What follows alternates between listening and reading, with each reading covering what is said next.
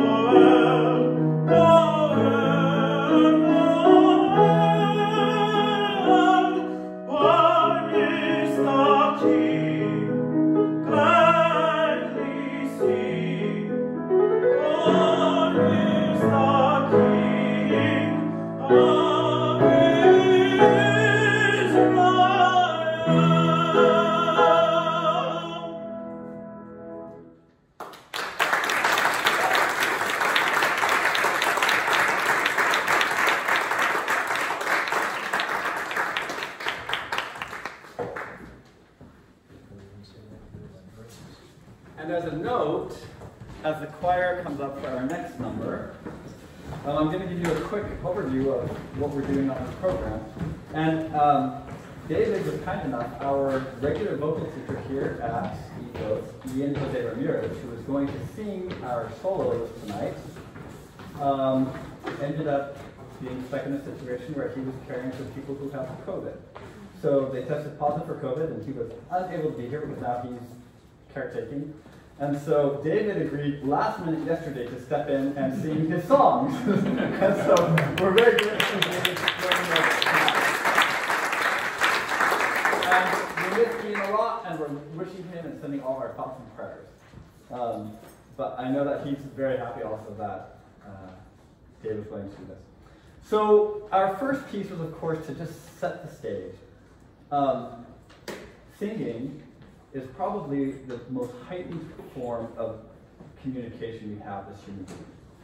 Um, as we've studied music and its effects on the mind and on the body, we've discovered that it uses all of the centers of the brain associated with language, as well as emotion, muscle memory, all kinds of memory, sensory memory.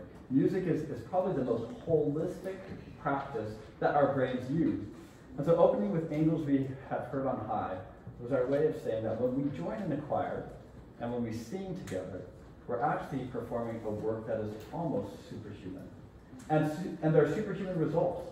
They found that people who sing in choirs, their hearts begin to beat in unison. Their breathing is in unison already. They have to breathe together, but their hearts begin to beat in That's the exercise. That's the exercise. right. And so that's that's why we start with Angels We've Heard on High.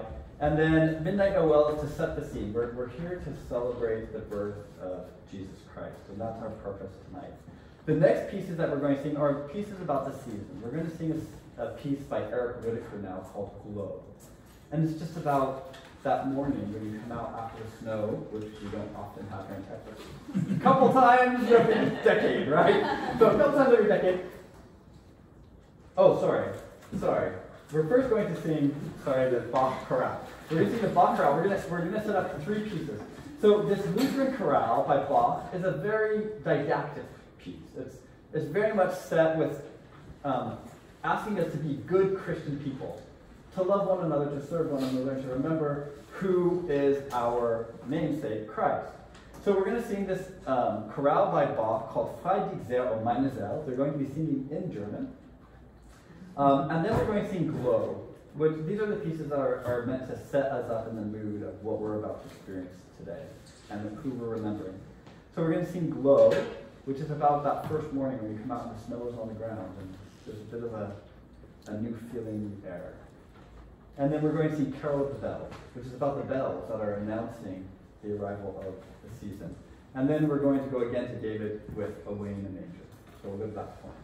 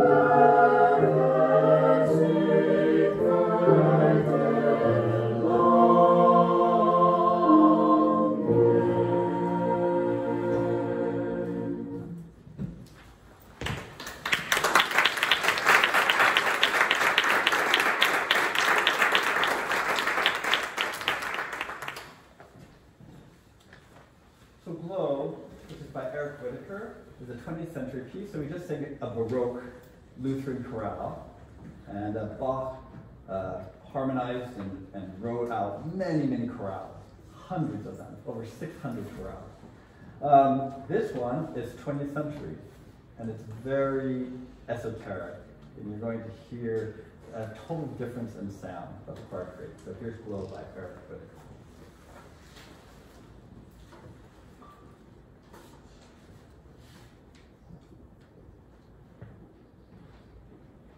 Softly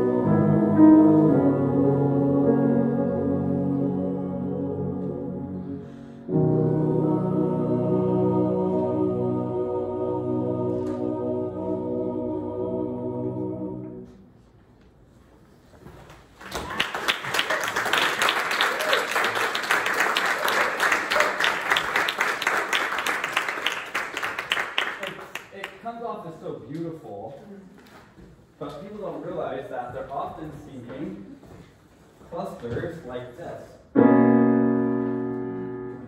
And so they had to learn to hear those cluster chords and balance them in a way where it sounded gorgeous, didn't it? Mm-hmm. and it creates that glow And, and they really did an awesome job. Mm-hmm. I love this choir, so they did an mm-hmm. awesome job. They done good taking.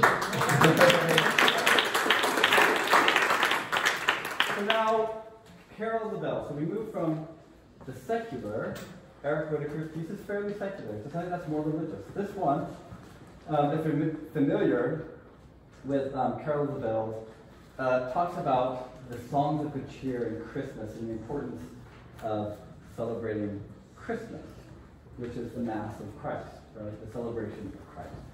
So, Carol of the Bells.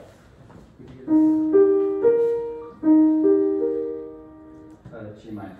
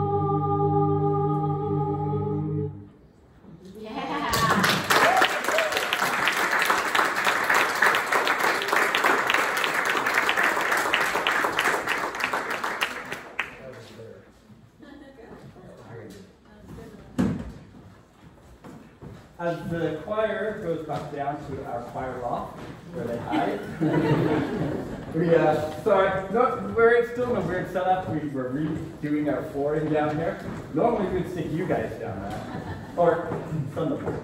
But uh, we're utilizing our space. I'd also like to take this moment, as David comes to recognize our pianist, Miss Deanna Jensen, who is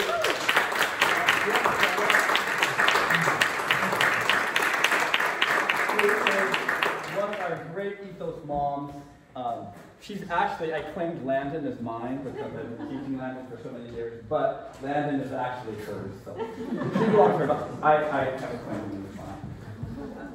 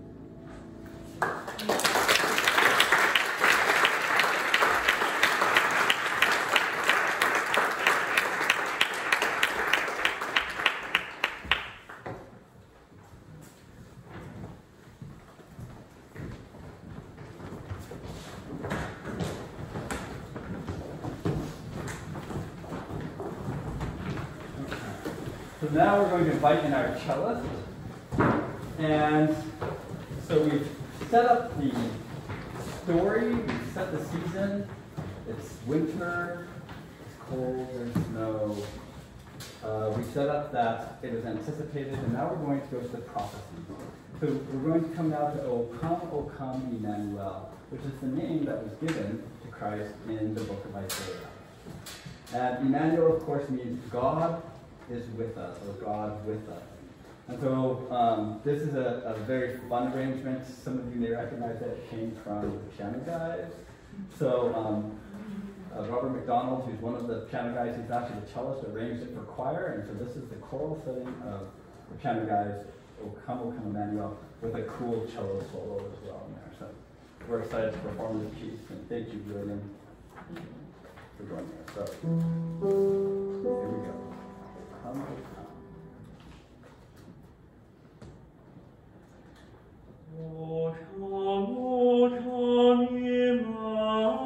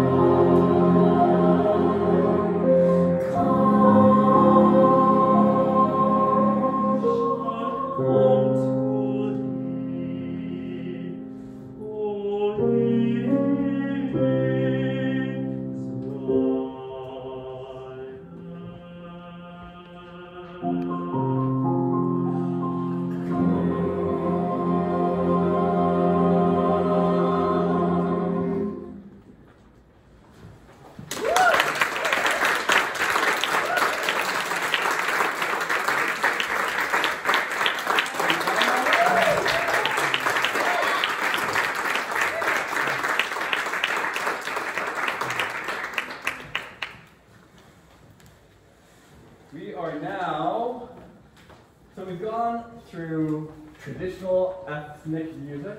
We've gone through a, a Lutheran chorale, which was taken from plain chant and then turned into a chorale by Bach. We're now going to go into something that's very liturgical. This is by Mozart.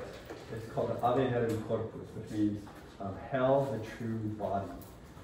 And the words um, pertain to any holiday that celebrates Christ, but it's basically Hail, Hail, true body, born of Mary the Virgin. Um, true sacrifice for all men, or truly sacrificed or suffered on the cross for all men. Um, pierced in the side where blood and water flowed. And so this, this is all about Christ, and it's very liturgical. It's very different. You're, you're going to hear it. It's a totally different setting. This is this is what you would have gotten in a Catholic church, and even like 300 years before Mozart. He wrote this in a style that was very looking back, even for his day. It wasn't classical. It was very much in the choral setting that you would have had with someone like Michael Praetorius or Palestrina. And that's, that's where Mozart was turning for his inspiration for this. So you're going to hear something. And in the Catholic Church, which is very sad at that time, you wouldn't have had any women singing. They wouldn't allow women to sing in the Catholic Church. It would have been all boys and men. And so in this case, we love our women singers. Here we go. Ave Verum Corpus.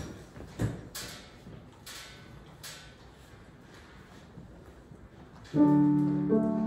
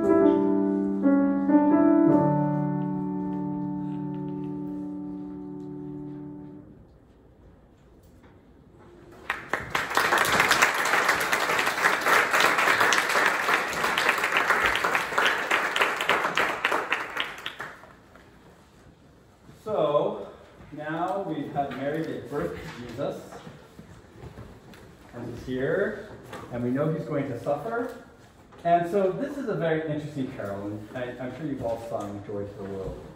And the person who wrote it, um, the music, Lowell Mason, when he wrote this, he refused to sign his name to it. Even though it's not found anywhere in the works, collected works of, of Handel, he insisted that he got this from Handel, who had been dead for a couple hundred years when Lowell Mason composed this. But he insisted that it came from Handel. So for years, it had Handel's name on it. But it was actually written by Lowell Mason, but they are now beginning to say based on Handel. But Lowell Mason doesn't got his inspiration from Handel. John Rutter then took the Lowell Mason version and he wrote it out like a Handel chorus. So this is the John Rutter version, which is written out like a true Handel chorus from the Messiah. So this is Joy to the World, written by Lowell Mason, inspired by Handel, in the style of Handel, written by Don Rutter. but here is our joy at Christ being born.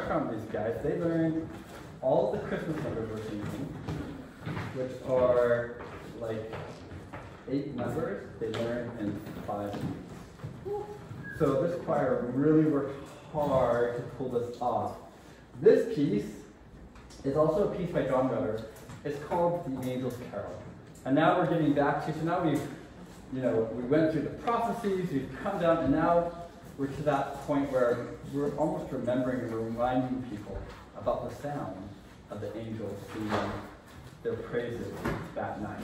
So here's The Angel's Carol by John Rutter.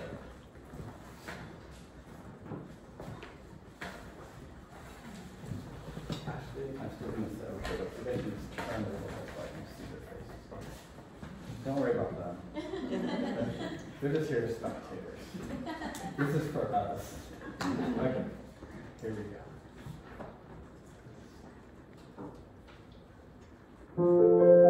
go.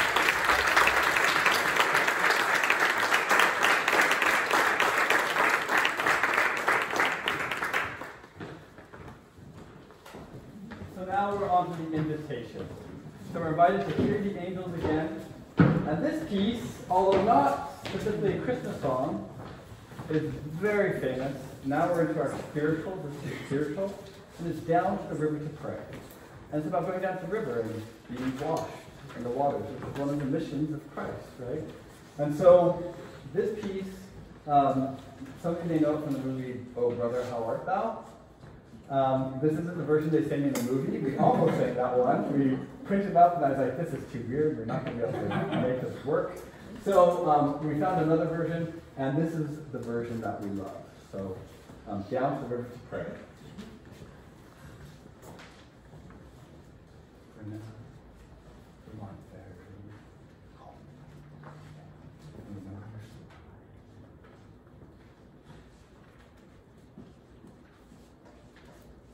for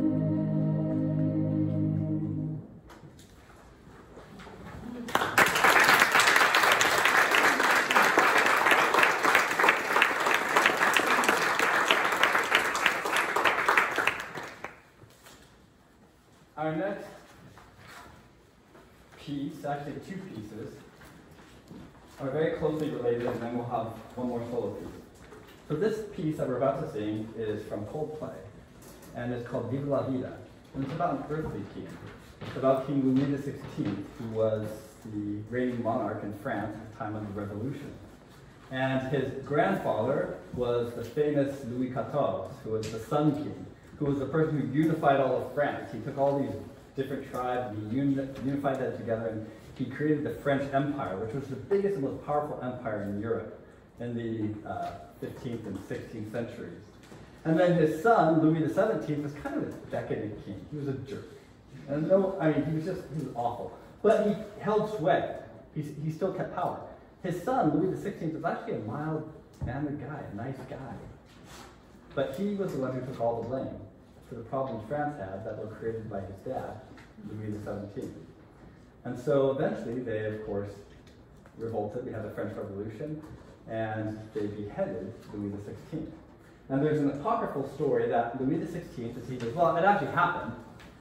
As he was going up the scaffolding, he turned to talk to the masses that were there in the square and, and to try and say something. He started speaking, but they were calling for his head so loudly, and they started screaming louder when he turned around to speak that no one heard what he said. And so what Coldplay did is they created this song based on the words that they believed Louis XVI would have spoken. And so you're going to hear the sorrows of a king who's been deposed by his people, who felt like he came into it in glory and he's going down in shame. And you're going to hear him also talk about his hopes for his people. But you're going to hear here about an earthly king, and then we're going to compare it to the piece, Jesus, Jesus, Rest Your Head, which is our um, second to our last, our penultimate choral piece. And so we're just going to go one right into the next so you can hear that contrast of the two kings the earthly king, Louis XVI, versus the heavenly king, Jesus Christ.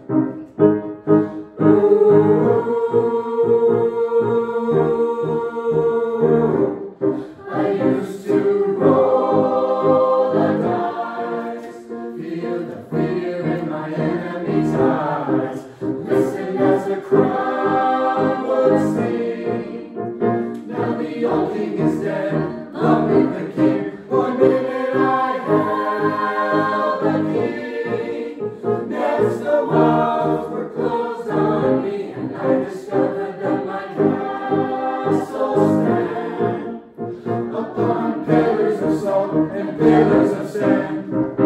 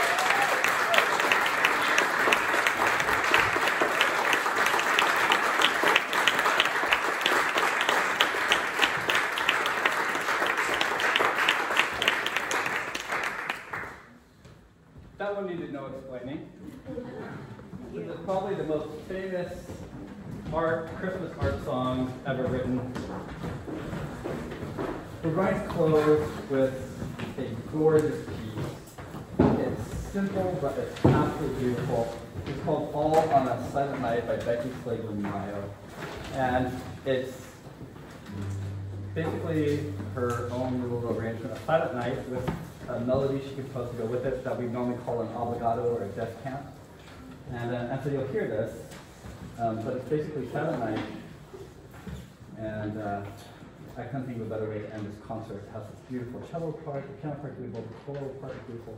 So I'm hoping that this really touches home, especially during this time when how many of us are actually getting to experience live music? It just, it's a really difficult period of time for live music. We are lucky. We don't seem We're to lucky. care here, right? so all on the silent night.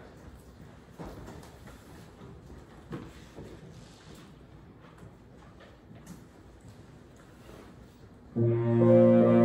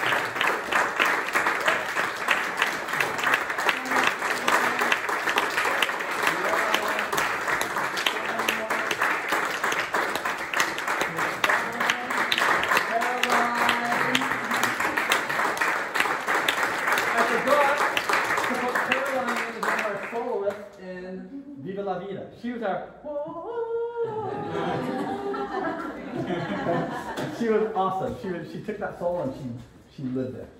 That was great. We'd like to thank you all so much for joining us for tonight's concert. And uh, if you ever have any questions about our school, we have a website. We're at www.ethos.school. And uh, we have great programs, private instruction and group instruction. And uh, spread the word for us. Help your friends know that we exist, that we're here, and that we love to produce music and share it with the world. And that's what we do. And one more hand of applause for all of our performers uh, tonight.